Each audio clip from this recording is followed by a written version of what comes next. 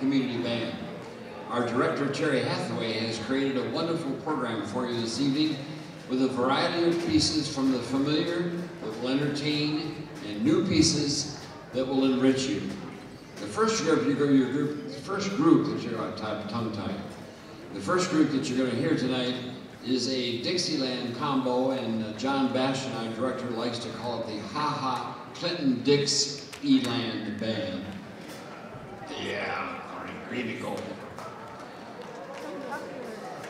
The first group that you're going to hear is this combo, this Dixieland combo, and I think you're going to thoroughly enjoy this. This is led by John Bastian on the trumpet, Karen Martin on the clarinet, John McNeil on the trombone, Richard Winters on the tenor sax, Marshall Potter on the keyboard, Melody Kaiser on banjo, Daryl McGill on the tuba, and Mark Habel on the drums. We're going to start out with uh, Alice Blue Gown. This opening number uh, was written by Joseph McCarthy and uh, Harry Tierney, originally a waltz from the musical Irene, which premiered on Broadway in 1919. It was interpreted by the original Dixieland Jazz Band and recorded that same year. This arrangement was realized by uh, Henry Levine. It features solos by John Bastian and Karen Martin. Enjoy our opening number with the Alice Blue Gown.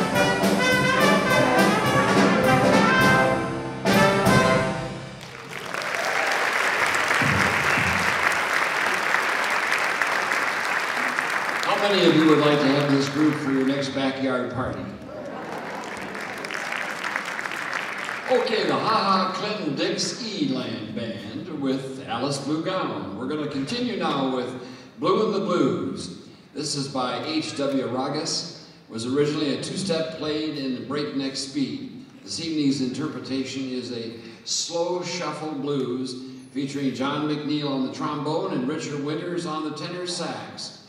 Bluein' the Blues.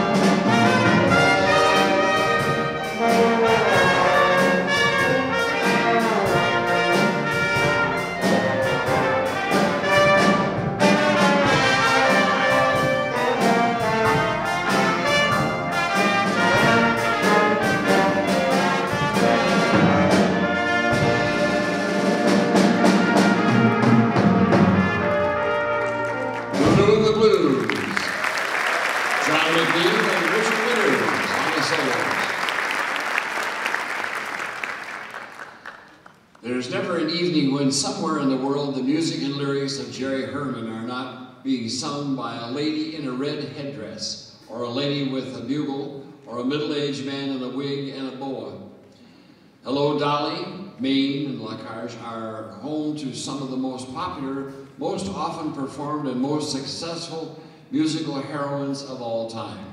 Jerry Herman has the distinction of being the only composer-lyricist in history to have had three musicals that ran more than 1,500 consecutive performances on Broadway. His musicals rank him in the pantheon of Broadway's golden age and will keep audiences humming for generations to come.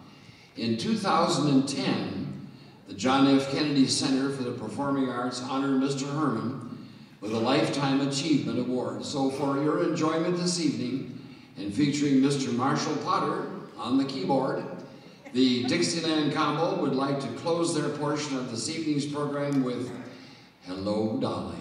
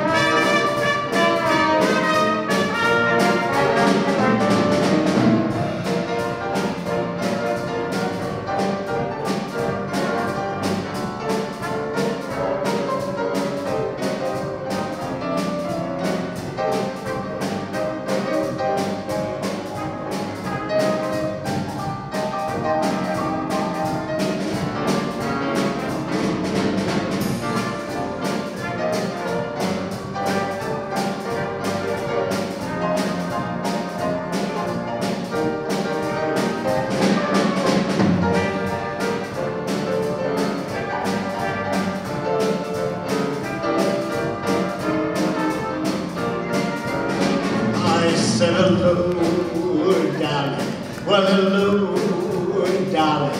It's so nice to have you back where you belong. You're looking swell, darling. I can tell, darling. Yours to grow and yours to grow and yours to It's gone. I feel that room is a slave.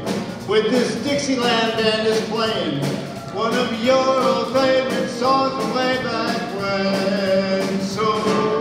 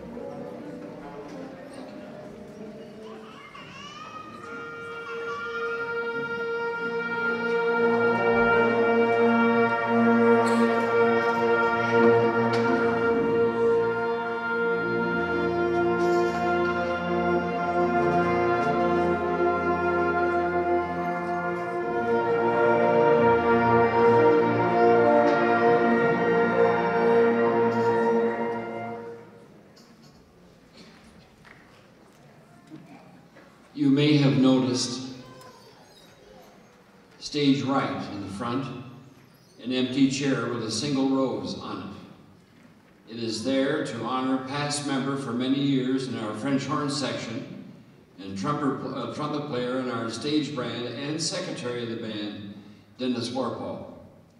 He will be missed.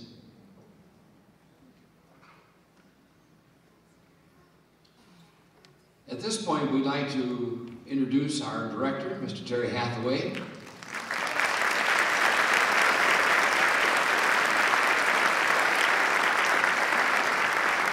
When we were preparing this evening's concert, we talked about this being the 29th spring concert, and he said, yes, Opus 29. So that's the way we announced this evening's program is Opus 29. We're going to start out with a very exciting piece of music that we're sure that you're going to enjoy. This transcription of the latest movement from the opera ballet Mlada is a great way to open the concert band's portion of tonight's performance. The opera's scene is set near the coast of the Baltic Sea. The time is the early 9th or 10th century. Sometime after the production of this opera ballet, Rimsky-Korsakov arranged the music into a suite of five numbers. Tonight, we're going to present the last of the suite entitled The Procession of the Nobles.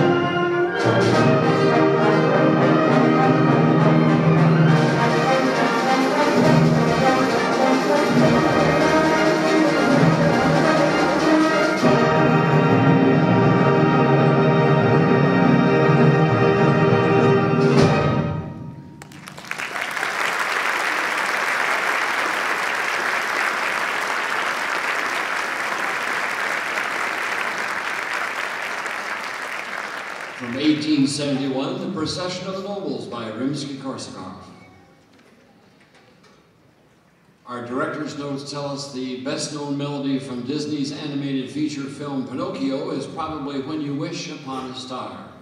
Composer arranger Sammy Nestico has over 600 composed or arranged pieces of music for television, films, and swing bands, especially Quincy Jones.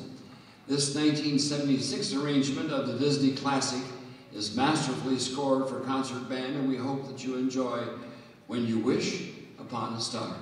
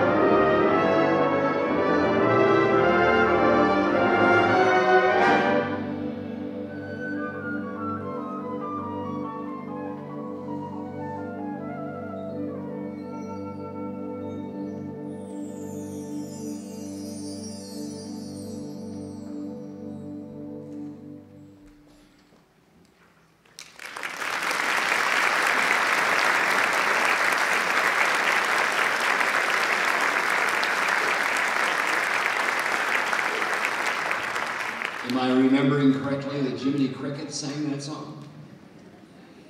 We started out in 1871 and then we did a 1940 piece, and here is a 2002 arrangement.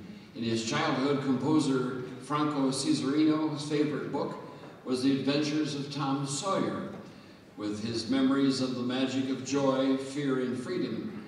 Cesarini uh, sought to bring the figures from the book magically to life. Tonight we're going to perform three of the five movements for you, and before each movement, I will read the composer uh, title that he chose for each one. So we'll begin first of all with Tom Sawyer. He was not the model boy of the village. He knew the model boy very well and loathed him.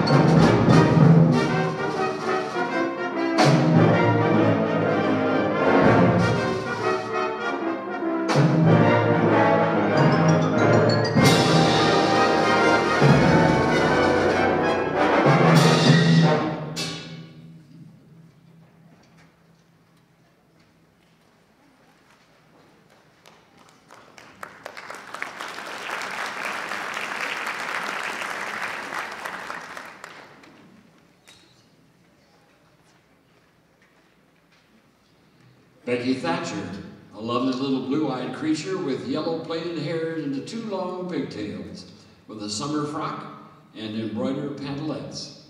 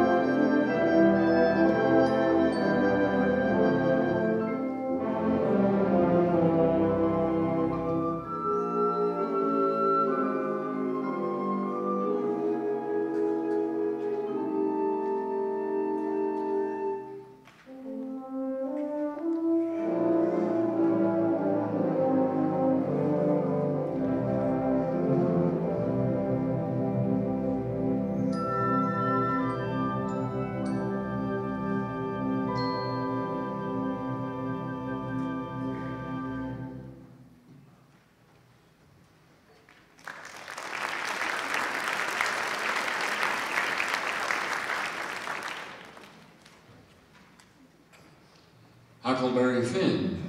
Huckleberry was cordially hated